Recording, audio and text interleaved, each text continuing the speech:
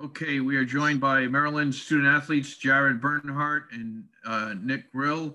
We will take uh, questions for the student athletes and we'll start with Christopher Heidel of Herb FM Sports. Hey, this question for both of you guys. Uh, well, first start with Jared. Uh, just talk about uh, making it to the Final Four and also playing against, you know, in the championship game against the uh, against Virginia. Uh, yeah, I think we are just focused on Duke. Um, you know, collective win all across the board, but uh, we'll get to that and uh, hopefully tonight and then carry on tomorrow.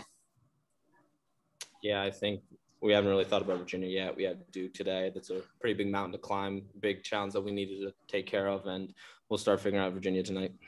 And if I could follow up real quick, just talk about this whole COVID nineteen. You guys fifteen and zero, oh, you know, playing a Big Ten schedule, and you know, do you think you guys would have been here, you know, be at this point if uh, situations like COVID never, you know, you know, it was a little bit different? Uh, yeah, I mean, obviously COVID was tough and stuff, but uh, I think even without it, I think we would have, you know, been here. We have a really good group, uh, good senior senior leadership, and then you know a lot of young guys, you know, looking to to get better each day. But uh, yeah, COVID's obviously been tough, but definitely would have been here without it too. Yeah, I think COVID just gave us an extra year to really work on the things that we were struggling with last year. So, I mean, who knows what it would have been like without COVID, but I'm just happy that we're here now. Okay, Mike Barber, Richmond Times Dispatch. Uh, yeah, for, for both you guys, I'm, I'm curious, you know, with this season being a little disjointed or whatever and, and not getting to play the usual non-conference stuff, is it harder right now to prepare for a team you haven't seen? Um, or, or is there no change from your perspective?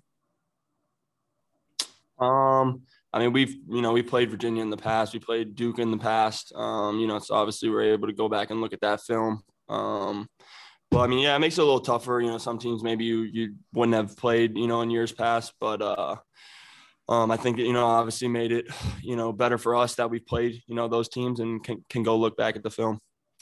Yeah, I think just playing a Big Ten um, schedule like we did. I mean, they're great teams in that too. There's a little bit of crossover there, obviously different personnel, but some similarities that we could use that. And we have a great coaching staff that would help us with any adjustments that we need to make and make sure that we're prepared for games like today. And if I could follow up real quick, unless I'm, I'm misremembering and it, it feels like forever ago, I, I, think Maryland, Virginia was the game that was going to happen before everything got shut down. Um, do you guys have any recollection of, of that and how maybe how far you were into getting ready for that game? Uh, yeah, I mean, I think we were, it was Thursday or Friday, I remember, and that was kind of the, the end of our end of our season. I remember pretty cr- clearly. Um, at least for me. Um, I didn't really know what I was doing with my situation, but uh, I definitely remember that day.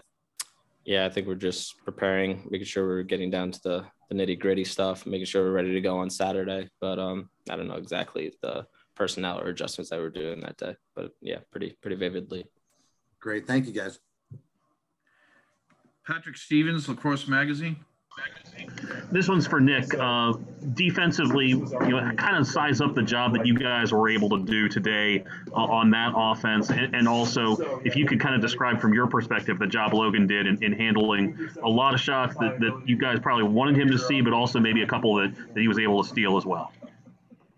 Yeah, I think overall, uh, getting ready to play an offense that's as great as Duke. I mean, the stats back it up. They have unbelievable players across the board.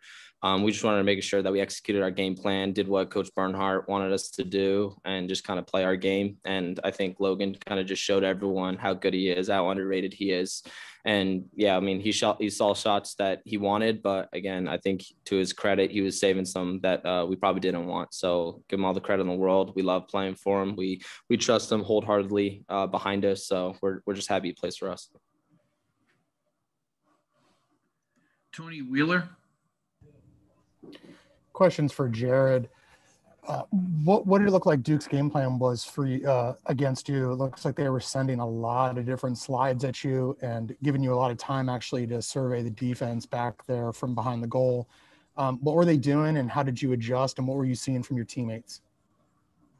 Yeah, I mean, like I said, once they slide, you just move it. You know, we got a good group, unselfish group, and uh, you know, someone's going to be open. So. Um, didn't think, you know, it's anything crazy. They said it's just, you know, it's lacrosse. Someone slides to you and just move it. If they don't, you know, you can beat your matchup or just move it for somebody else to go. Bruce Posner. Uh, yeah, guys. First of all, congrats on getting to the final. Uh, Jared, you go up against Nick Grill, you go up against Makar and all the shorties on Maryland. Uh, how much does that prepare you when you face other defenses, and vice versa? Same question to Nick. You're guarding Jared, Logan, and you know we hear all the hype about these other guys, but doesn't that every day in practice just make it happen? Yeah. Um, I mean, I think about that every day. I mean, those guys are the they're the best in the country. Um, and I get to go against them every single day for, you know, how many ever weeks. And I just I just look at it like that. And then, you know, I think that helps our offense too. So when we come come ready to go, it's, you know, I think it's uh it's helped us for sure. Yeah, and I think on the other end, I think me and Brett, Matt, we just really relish and cherish the opportunity to go against guys like Jared, Maltzy, uh, Logan. They all bring something different to the table. But again, our offense we think is one of the best in the country. So they always get us ready. They always sharpen our like skills, make sure that we're ready to go on on weekends. So I mean, it's an it's annoying during practice covering them, but it's a great opportunity to make sure that we're getting better during during the week. We'll take two more questions for student athletes. Matt Kinnear. Hey guys, um, you know, program all across the board. What do you the number one in that, particularly at this kind of um this high level, when you get to the final four? Did, did you hear him? Matt, you, Matt Kinnear, you broke up a little bit. Could you please ask that question again? Yeah, sure. The um, you know, when you think of Maryland, think of consistency. Um, what is the single most deciding factor that you guys have that consistent level of play, particularly at such a you know deep level of the postseason like you guys have done? Um, I mean, I just credit it to all the people that came before us, you know, the standard that was set here, um, and trying to pass that down. Um, you know, it really hasn't changed. And, you know, those, like I said, we, I cherish everything, all the people that came before for me and Nick, um, and what they've done here, um, and try to just pass that down. And it's, it's you know, simple as that.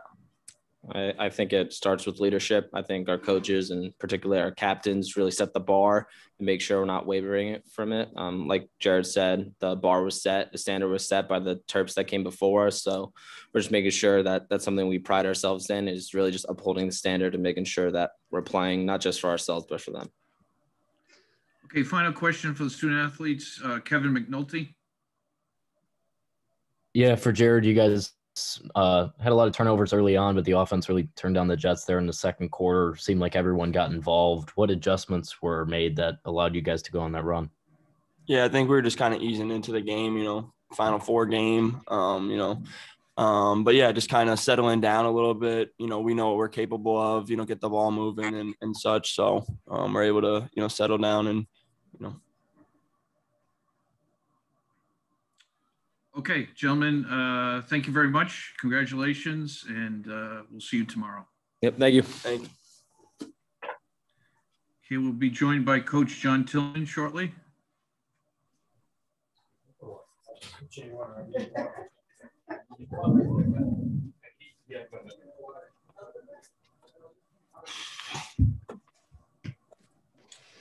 Okay, we're joined by uh, Coach John Tillman uh, of, of, Maryland. Uh, Coach, congratulations. And if you could make uh, an opening statement about the game, please.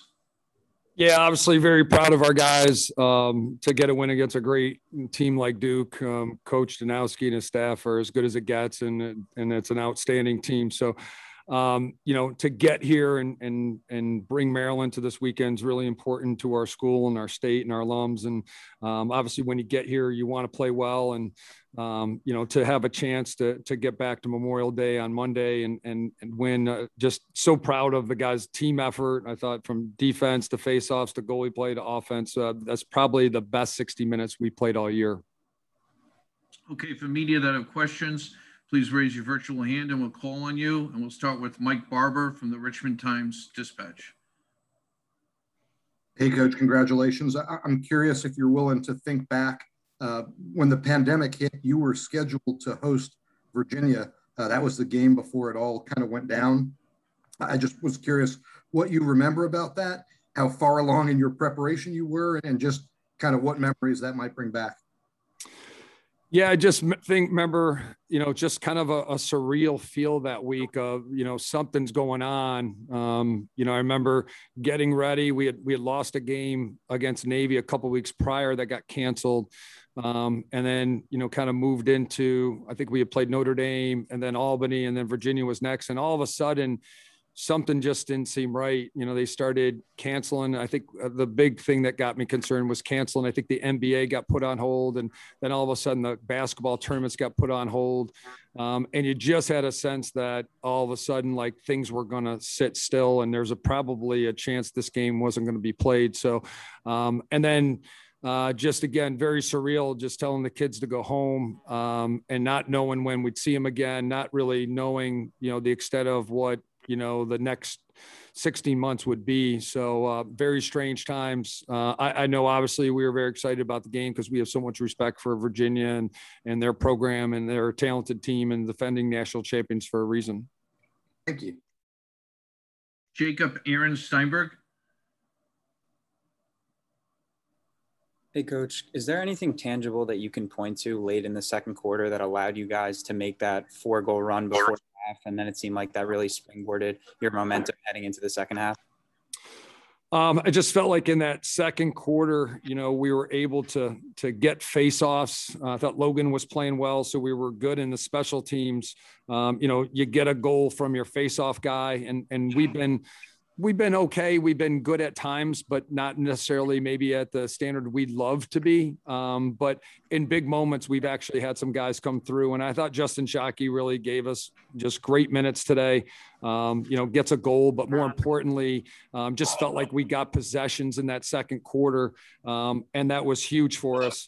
Um, and again, when you get one from your your face-off guy, that's a big energy boost. Um, and then you know defensively, I just thought those guys just kept giving us opportunities. And again, when you're getting the face-offs with that, you can get into a rhythm and a flow, and that helps so much. Patrick Stevens, Lacrosse Magazine. John, uh, defensively, what, what do you kind of make of, of what you guys were able to do against that particular offense? And did you sense that that was a group that felt like it was it was being challenged this week in maybe a way that uh, it hadn't been previously, or, per, or at least perception wise, anyway? Well, looking at the tape, you, you kind of looked and said, all right, we played like a very similar offense to a certain extent. And again, that's a lot of respect to Duke and Notre Dame's offenses. Um, you had a Tewaaraton candidate um, a very dangerous guy behind the goal. They set a lot of picks for him. Dynamic player, makes guys around him better, can score, um, and then very athletic and very organized. Um, I mean, we kind of joked in the beginning of the week, it was like getting ready for the NBA All Star team, you know, like the Western All Stars, you know, and just so many good players out there that were dangerous. But we did feel like getting ready for Notre Dame, uh, some of what they do um, did carry over, whether it's the big little picks behind and dynamic dodger, but also some of the the the wing action and and the the, the sets that they run. So it helped. Um, and and to be honest with you, it kind of needed to because we were gassed from that game on Sunday. Um, that was you know it it took us uh, maybe three four days to get beyond that physically um, and that was very concerning we went super light this week um, but we felt like we were going to trust Grill. Um, we had all year. Michael Sowers is awesome. Um, I mean, such a good player. And I remember watching when he was younger. Um, he's as good as advertised. But we we just have so much confidence in Nick, um, and we have veteran short sticks, so we felt like that would help us. Um, and we just hoped that we could do okay at that matchup, and it turned out pretty well. And when we didn't, I just felt like Logan bailed us out a few times and made some timely saves that really helped us when maybe there were some opportunities for them. And to, and to follow up on that, on what you were saying about Logan, you know, he's obviously had a, a, fairly steady season, but, but do you feel like, you know, when you, to piggyback off of what you said earlier about this being as, as good a game that you played 60 minutes was, was that as good as game as he's played since he's been in College Park? Yeah, I would say that would be his best game. Um, obviously, we're we're we're still not too long from it. And sometimes you can think emotionally, but I mean, he had two games last year. So he's, you know, he's basically just completing almost, mm-hmm. you know, a full year normally. non-COVID, you know, you're usually getting 13, 14 games and, and then your conference tournament. So it's amazing to think that he's only started 16 games.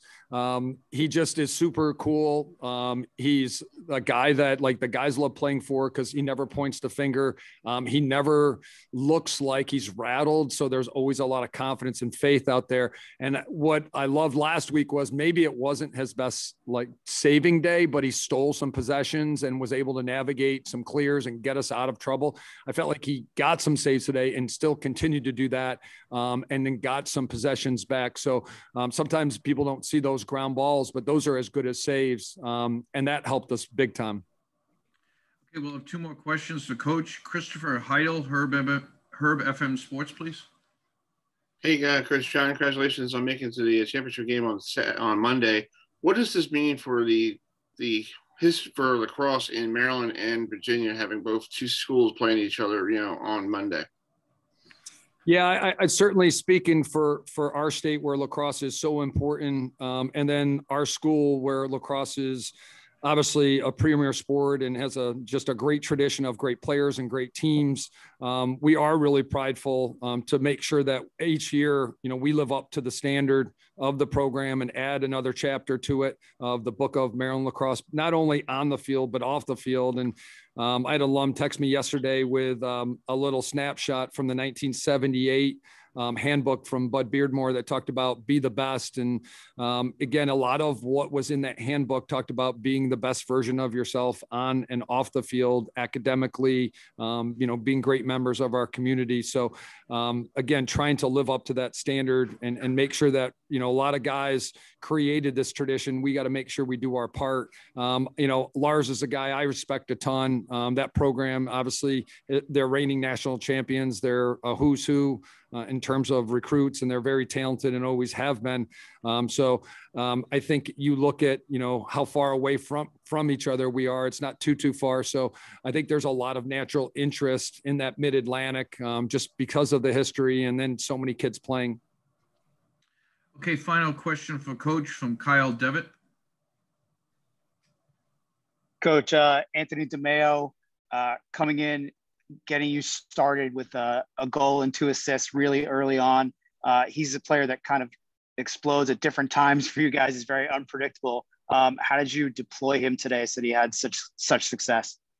You know, with the way we play, Kyle, a, a big part of it is is trying to, um, and we've kind of morphed into that over the last few years. You know, we we we have you know, you kind of look at what you have. And, and in 17 and 16, you know, we had Matt and Colin and, um, you know, Connor Kelly and some of those guys, and they we tried to devise schemes that kind of suited them.